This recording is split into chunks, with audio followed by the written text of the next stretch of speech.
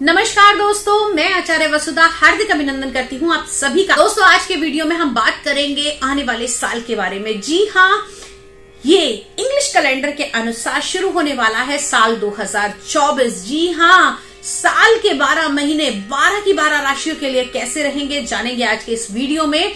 साथ ही साथ बताऊँगी कुछ ऐसे सटीक उपाय जिन्हें करके आप अपने जीवन को और ज़्यादा खुशहाल बना सकते हैं। दोस्तों कहते हैं ना कि ज्योतिष शास्त्र वो नेत्र है जो आपका भाग्य तो नहीं बदल सकता, लेकिन आपके भाग्य को बदलने के लिए आपके कर्मास को प्रेरित करता है। अगर आप अच्छे कर्म करेंगे तो रिज़ल्ट भी अच्छे ही मिलते हुए दिखाई देंगे। साथ ही साथ ज्योतिष का काम आपको पहले से उन चीज़ों का इंडिकेशन देना होता है। जी हाँ अगर कोई आपको पहले से बता दे कि सामने गड्ढा आने वाला है तो आप सतर्क हो जाते हैं।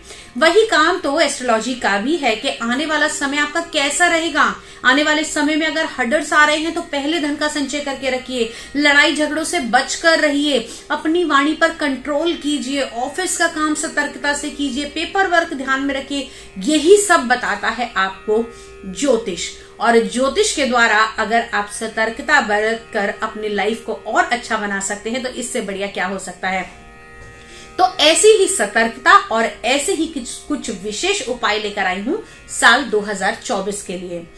इस साल, जी हाँ साल 2024 में मेष लगन वाले जातकों के जीवन में कौन कौन से बदलाव आएँगे और क्या क्या रहेंगी आपकी उपलब्धियाँ? कौन सा करना चाहिए, उपाय और क्या बरतनी चाहिए, सावधानी? इन सभी की चर्चा करेंगे, लेकिन उससे पहले यदि आपने अब तक चैनल को सब्सक्राइब नहीं किया है तो प्लीज़ सब्सक्राइब कर दीजिए, साथ ही साथ बेल आइकॉन को ज़रूर दबा दीजिए ताकि आने वाले सभी वीडियो आपको समय से मिल सके। तो चलिए बात करते हैं, वीडियो की तरफ़ आगे बढ़ते हैं। सबसे पहले बात करते हैं कि जब साल की शुरुआत होगी, जी हाँ साल की शुरुआत जैसे ही होगी, उस समय में आपकी कुंडली की स्थिति क्या रहेगी? एक जनवरी 2024 को देवगुरु बृहस्पति जो पीछे अभी आपके लगन में राहु से पीड़ित थे, बहुत ज़्यादा परेशान कर रहे थे। गुरु चंडाल योग बना हुआ था, मती भ्रष्ट कर रखी थी। डिसीज़न नहीं ले पा रहे थे तो इस साल की शुरुआत में देव गुरु बृहस्पति यहाँ उससे मुक्त हैं। साथ ही साथ यहाँ पर आपको जनवरी से लेकर मई, जी हाँ मई के आरंभ में देवगुरु बृहस्पति राशि परिवर्तन करेंगे। तो जनवरी, फरवरी, मार्च और अप्रैल, चार महीने में आप लोगों को अच्छे रिज़ल्ट देंगे। अब ये रिज़ल्ट कैसे होंगे? हालाँकि यहाँ पर देवगुरु बृहस्पति विराजमान है तो क्या करेंगे? कहीं ना कहीं आपको अध्यात्म की तरफ़ जोड़ेंगे।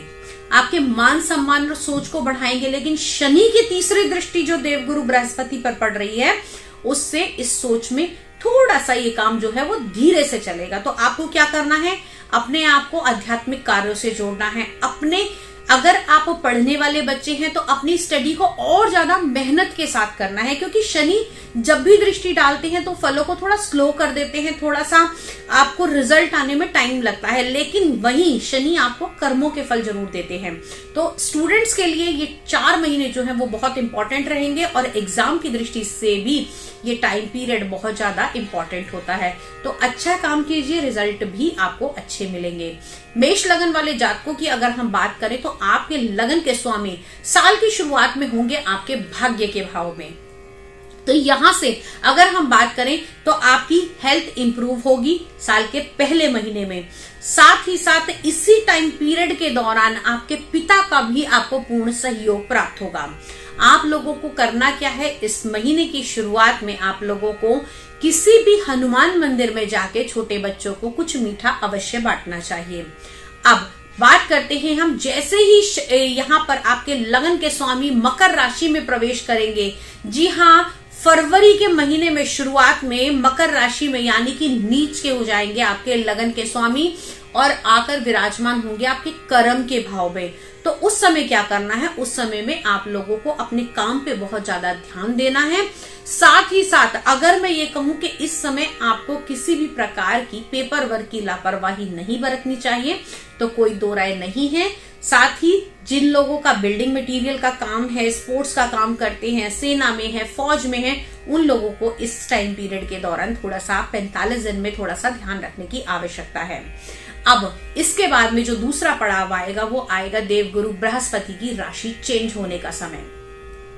बीच बीच में ग्रह राशि परिवर्तन करेंगे, बुध, मंगल, शुक्र, ये राशि परिवर्तन करते रहते हैं। अगर हम देखें पिछले साल के अकॉर्डिंग 2023 में चार बड़े ग्रहों ने राशि परिवर्तन किया था, गुरु, शनि, राहु और केतु। लेकिन इस वर्ष में शनि पूरे साल कभी वक्री स्थिति में, कभी मार्गी स्थिति में रहेंगे। कुंभ राशि में ही, अपनी मूल त्रिकोण की राशि में, और ये इनकी अपनी राशि, स्वराशि भी है, और साथ ही साथ अगर हम देखें तो यहाँ पर गुरुदेव बृहस्पति मई में राशि परिवर्तन करेंगे। राहु केतु वही विराजमान है। जी हाँ राहु रहेंगे आपकी मीन राशि में, और केतु रहेंगे आपकी कन्या राशि के, कन्या राशि में।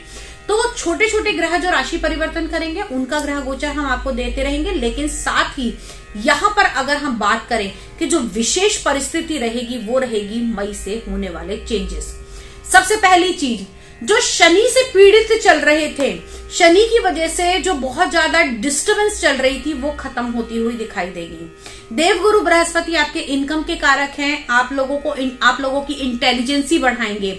खास तौर से वो लोग जो किसी प्रकार की कंसल्टेशन देते हैं, उन लोगों के लिए ये धन संचय का समय रहेगा। धन स्थान में देवगुरु बृहस्पति का आगमन होगा और साथ ही साथ यहाँ पर स्वराशि के शुक्र भी योग बनाएँगे आप लोगों के लिए। तो लक्ष्मी आपके घर के अंदर बनती हुई, आती हुई दिखाई देंगी। अब बात कर लेते हैं मई के बाद ही हम बात करते हैं आगे आने वाले समय में। तो आगे आने वाले समय में आप लोगों का व्यवसाय की दृष्टि से आप लोगों के लिए जॉब के अंदर चेंजेस आते हुए दिखाई देंगे। जून के महीने में आप लोगों के प्रमोशन होने के चांसेस बनते हैं।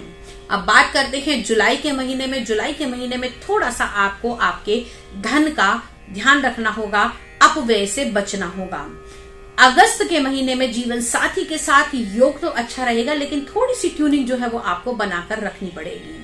अब बात करते हैं हम लोग सितंबर के बारे में। तो सितंबर का महीना उतार चढ़ावों से भरा रहेगा। व्यवसाय की दृष्टि से जो लोग किसी प्रकार का खाने पीने का बिज़नेस करते हैं, किसी प्रकार का आप लोगों का बिल्डिंग मटेरियल का बिज़नेस है, या फिर मैं कहूँ सौंदर्य प्रसाधन से जुड़े हुए हैं रेस्टोरेंट का काम करते हैं, उन लोगों के लिए इस महीने में कुछ उतार चढ़ाव आएँगे, लेकिन उन उतार चढ़ावों से आपको धन के योग बनते हुए दिखाई देंगे। तो ये पूरा साल आप लोगों के लिए मिला जुला रहने वाला है, अक्टूबर, नवंबर, दिसंबर। ये तीन महीनों में आप लोगों को किए हुए कार्यों के फल आपको मिलेंगे, लेकिन जितना आपने एक्सपेक्ट किया है, उससे थोड़े से कम मिलते हुए दिखाई देंगे।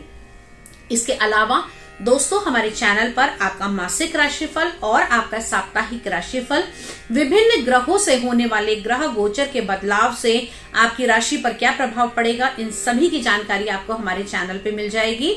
लेकिन यहाँ पर अब बताती हूँ आपको एक ऐसा सटीक उपाय, जिसे करके आप साल में दो बार आप चेंज कीजिए। इस उपाय को करके आपको अच्छे लाभ मिलेंगे। पहला, साल के शुरुआत के चार महीने में आपको किसी भी गरीब बच्चे को पढ़ाई की वस्तुएँ दान देनी है। अब वो वस्तु कैसी हो सकती है? किसी को आप कॉपी पेंसिल दिला सकते हैं, किसी की फ़ीस भर सकते हैं, किसी को और पढ़ाई का सामान दे सकते हैं। तो इस प्रकार का अगर आप साल के शुरुआत के चार महीने में ये काम करेंगे तो निश्चित तौर पर शनि के प्रकोप से बच पाएँगे और अपने बृहस्पति को और ज़्यादा बेटर कर पाएँगे। उसके बाद में जैसे ही देवगुरु बृहस्पति आपकी कुंडली के दूसरे भाव में गोचर करेंगे, यानी कि शुक्र की राशि में प्रवेश करेंगे तो उस टाइम पीरियड के दौरान, मई से लेकर और दिसंबर तक, जी हाँ 30 दिसंबर 2024 तक आप लोगों को क्या करना है? विशेषकर आप लोगों के लिए उपाय रहेगा कि केसर से बना हुआ तिलक अपने कंठ पर अवश्य लगाएँ। इससे दो चीज़ें होंगी।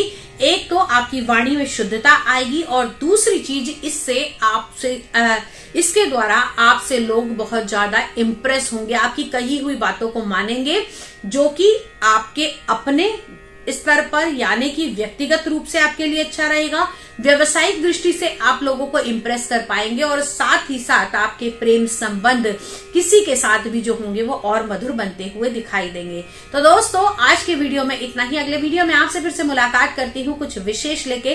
तब तक के लिए जय माँ भगवती।